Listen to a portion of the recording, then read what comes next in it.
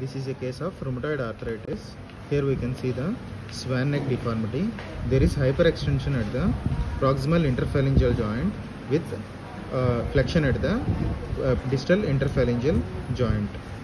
Here we can see Boutonniere's deformity in this patient with flexion at the proximal interphalangeal joint and hyperextension at the distal interphalangeal joint.